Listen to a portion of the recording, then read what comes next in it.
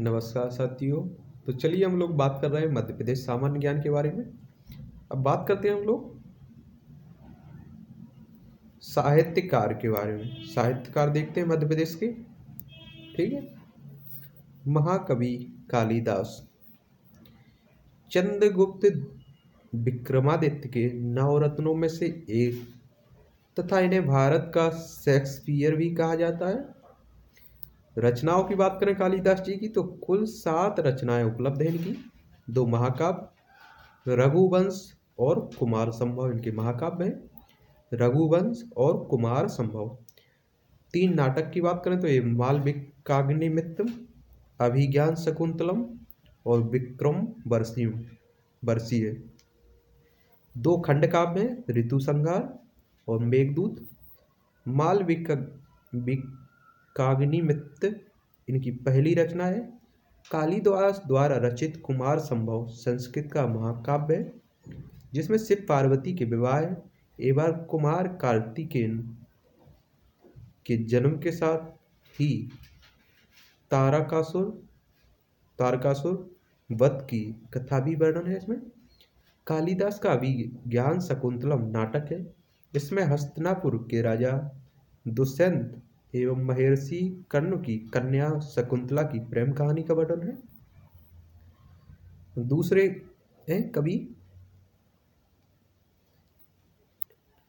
भरतहरि भरतहरि उज्जैनी के राजा थे। इनकी साधना स्थली चुनार, उत्तर प्रदेश व समाधि स्थल, राजस्थान की सरिस्का अलवर में है। इनकी रचनाओं सत कतय इसमें नीति शतक, सिंगार शतक और वैराग शतक है। अन्य ग्रंथ की बात करें तो वाक्पदी, वाक्पदीप, वृत्ति भागवृत्ति महाभाष्य त्रिपदी महाभाष्य दीपिका दीपिका शब्द धातु समीक्षा, मीमांसा सूत्र वृत्ति, वेदांत सूत्र वृत्ति। फिर अगले हमारे भवभूति। ये पदमपुर के निवासी थे। इनकी रचनाएँ हैं मालती माधव, महावीर चरितम उत्तर रामचरित उत्तर रामचरित किसने लिखी? भवभूति ने। संस्कृत का प्रथम दुखांत नाटक है। आगे बात करते हैं। वाण भट्टी के बारे में। तो हर्षवर्धन ने राजकवि थे। हर्षचरित, हरिश्चरितम कादम्बरी मुकुट तादी तक। ये सभी इनकी रचना थी। दंडी दस कुमार चरित थी इनकी रचना। बारहवीं कीर्ताजुनी कीर्तन, अर्जुनियम थी इसकी, इनकी रचना। फिर बात करते हैं मध्यकालीन साहित्यकार के बारे में। आचार्य केशवदेव। इन्हें कठिन का विपरीत, कठिन काव्य का प्रेत कहा जाता है। किन्हें? आचार्य आचार्य देव केशव देव को आचार्य केशव देव को कठिन काव्य का प्रेत कहा जाता है। इनके र, इनकी रचनाएँ रसिक प्रिया कवि प्रिया दोनों विज्ञान गीता रतन बावनी जहांगीर रस चंदिका नक्सिक वर्णन राम अलंकृत मंजरी रामचंदिका छंदमाला वीर सिंह देवचरित। फिर भूषण अंगले हों कवि हैं मध्यकालीन साहित्यकार मध्य प्रदेश के तो भूषण की रचनाएँ हैं शिवराज भूषण शिवाबायोनी छत्तीसाल दशक, भूषण उल्लास दूषण उल्लास और भूषण हज़ार अगले कवि हैं कवि पद्माकर। तो इनकी रचनाएँ हिम्मत बहादुर विरुदावली जग विनोद प्रबोध पचासा जय सिंह विरुदावली हिता प्रदेश अली जाहे प्रकाश, गंगा लहरी राग रसायन, पद्माकर, प्रताप, वीरदावली, इनकी प्रमुख रचनाएँ हैं। अगले हैं।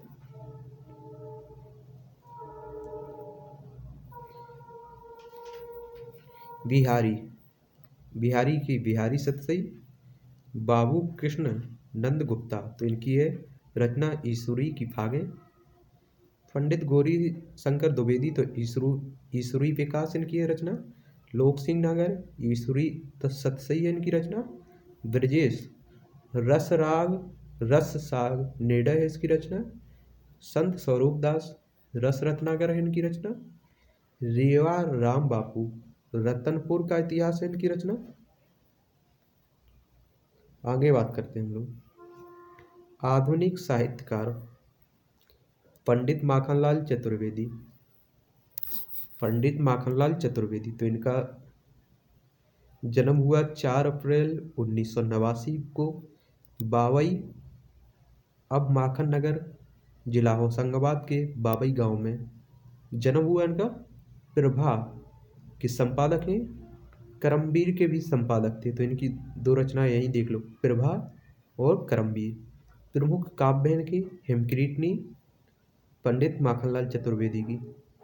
प्रमुख काव्य कौन कौन से? हेमक्रीटनी हेमतरंगणी माता, योगचरण मरण ज्वार धीजुरी, काजल आज रही और धुम बलय। वाला फिर है निबंध संग्रह, माखनलाल चतुर्वेदी जी के। साहित्य देवता, अमीर इरादे, गरीब इरादे पाँव पाँव नाटक में कृष्ण अर्जुन युद्ध, प्रसिद्ध रहे। अन्य रचनाओं की बात करें तो कला का अनुवाद कहानी और कहावत, सभी कहानियाँ, समय के पाँव, संस्मरण, चिंतक की लाचारी, भाषा संग्रह आदि। बिलावपुर जेल में लिखी गई पुष्प की अभिलाषा इनकी प्रसिद्ध रचना है। ठीक है, ये थे पंडित माखनलाल चतुर्वेदी। अगले लिखे, गजानन माधव मुक्ति बोध शिवपुर कला मध्य प्रदेश में जन्म जन्म हुआ इनका। छायावाद के उत्तर काल से संबंधित। श्री मुक्तिबोध तार सप्तक के प्रथम प्रतिष्ठित कवि हैं। इनकी रचनाओं की बात करें तो चाँद का मोह टेढ़ा, किसकी रचना है? गजानंद माधव मुक्तिबोध की। चाँद का मोह टेढ़ा, एक कविता संग्रह थी। एक साहित्यिक की डायरी एक निबंध संग्रह। नवी, नई कविता का आत्म संघर्ष भारत, इतिहास और संस्कृति।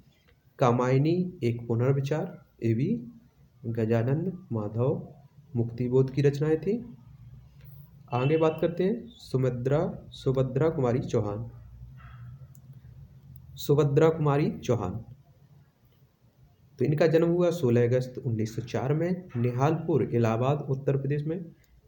जन्म इनका खंडवा निवासी है, ठीक? काव्य संग्रह इनका मुकुल और त्रिधारा।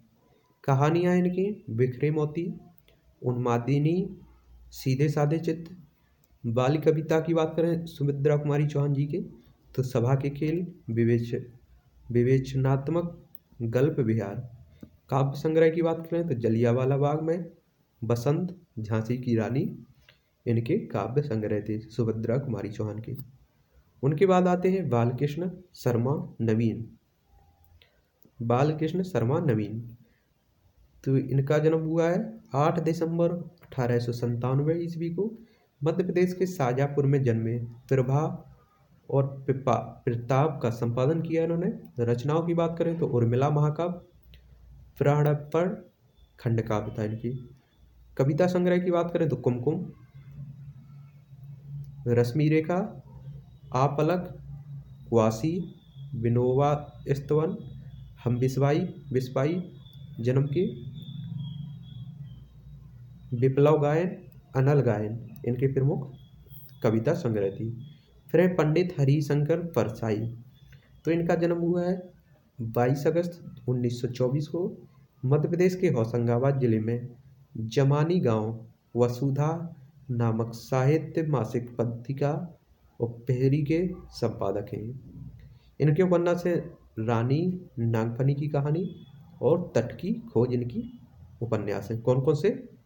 रानी नागफनी की कहानी और तट की खोज, पंडित हरिशंकर परसाई जी के। आगे बात करते हैं इनके निबंध की। पंडित हरिशंकर परसाई जी के निबंध की बात करें तो तब की बात और थी, भूत के पाँव पीछे, बेईमानी की परत, पग डंडियों का जमाना, सदाचार का ताबीज शिकायत मुझे भी है। इन पंडित हरिशंकर परसाई के निबंध संग्रह थे और हरी पंडित हरिशंकर परसाई जी के कहानी संग्रह की बात करें तो हँसते हैं, रोते हैं, जैसे उनके दिन फिरते, फिरे। और व्यंग व्यंग निबंध संग्रह की बात करें तो वैष्णव की फिसलन, तिरछी रेखाएँ ठिठुरता हुआ गणतंत्र, विकलांग सिद्धा का दौर, इनके निबंध संग्रह थे। अब बात करते हैं हम लोग शरद जोशी। शरद जोशी। शरद जोशी का जन्म मई 1931 को उज्जैन में हुआ है। शरद जोशी की रचनाओं की बात करें तो परिक्रमा, फिर किसी बहाने जीप पर सवार इल्लियाँ, राह किनारे बैठे, दूसरी सतह पिछले दिनों, यथासंभव, सभी व्यंग निबंध थे, अंधों का हाथी, एक था गधा, नाटक, मैं मैं और केवल मैं पन्ना उपन्यास था इनका, तिलिस्म कहानी संग्रह था, शरद जोशी का, ठीक है? फिर अगले मुल्ला रामूजी। तो 21 मई 1986 को सॉरी 21 मई अठारह को 21 मई अठारह को भोपाल में पैदा हुए। गुलाबी उर्दू की शैली के जन्मदाता थे। इनकी प्रमुख मुल्ला रमूजी की प्रमुख रचनाओं की बात करें तो इंत खाबे गुलाबी उर्दू, मजमुआ गुलाबी उर्दू, मीका लाद गुलाबी उर्दू, ख्वातीन अंगूरा शादी औरत जात, लाठी और भैंस, दीवाने मुल्ला, रमूजी सिखाफा सिफा खाना, ज़िंदगी, मुल्ला रमजी, गुलाबी उर्दू, गुलाबी शायरी इनकी प्रमुख रचनाएँ थीं। आगे देखते हैं हम लोग। भवानी प्रसाद मिश्र भवानी प्रसाद मिश्र का जन्म हुआ है तेईस मार्च 1914 को होशंगाबाद ज़िले में। इनकी रचनाएँ थे गीत फरोश, चकित है दुख, अंधेरी कविताएँ, गांधी पच सप्ती बुनी हुई रस्सी, दूसरा सप्तक, पाँव एवं पंख, कमल के फूल, पहेली। इनकी प्रमुख रचनाएँ थी भवानी प्रसाद मिश्र की।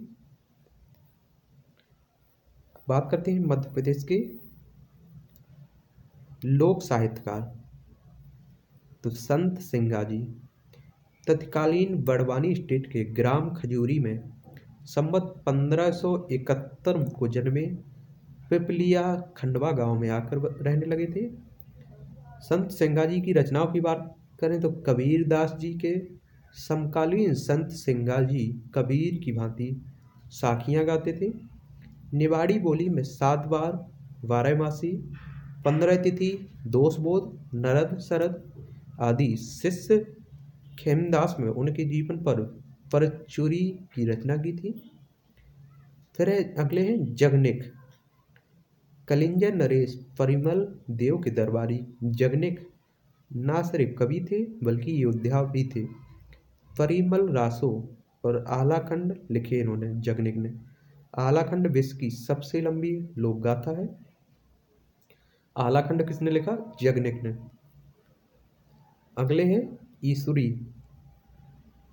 जन्म इनका संबत है 1831 मेडकी गाँव, मऊरानीपुर के निकट, झांसी जिला, उत्तर प्रदेश। बुंदेलखंड के जादव बुंदेलखंड के जयदेव के नाम से प्रसिद्ध ईश्वरी उनकी सबसे बड़ी देन थी फाक का आविष्कार ईश्वरी का। इनकी बात करें रचनाओं की तो ईश्वरी की फाकें ईश्वरी विकास कृष्णानंद गुप्ता। गुप्त का संकलन, ईश्वरी सत्यसई। गौरीशंकर द्विवेदी का संकलन, प्रेम का रजऊ प्रेरिता स्त्रोत फिर घाघ घाघ संवत सत्रह सौ तिरपन में, कि लगभग कन्नौज या निकट के गाँव में जन्मे घाघ को कविता, ज्योतिष और नीति संबंधी अच्छा ज्ञान था। गाहक ने कृषि को सर्वोत्तम व्यवसाय घोषित किया। इन्हें कृषि पंडित भी कहा जाता है। किन्हें? घाघ को। याद रखिए, कृषि पंडित किसे कहा जाता है? घाघ को। तो चलिए, ये थे हमारे प्रमुख मध्य प्रदेश के परिप्रेक्ष्य में साहित्यकार ठीक?